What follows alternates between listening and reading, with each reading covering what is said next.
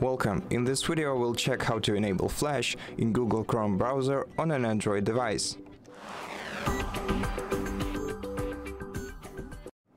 Well, since the uh, official support for Adobe Flash Player ended in December 2020, Google Chrome no longer supports uh, Flash. But if you still want to use it or to enable it, you'll have to use a different browser, like a Puffin browser if it's available in your country. You can find it on a Play Store. Search for it. Puffin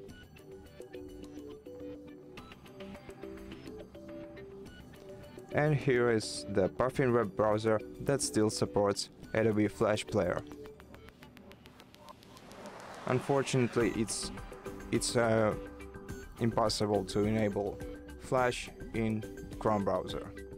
If you like this video, consider subscribing to our channel, leave us a like and a comment below, and I'll see you in the next one.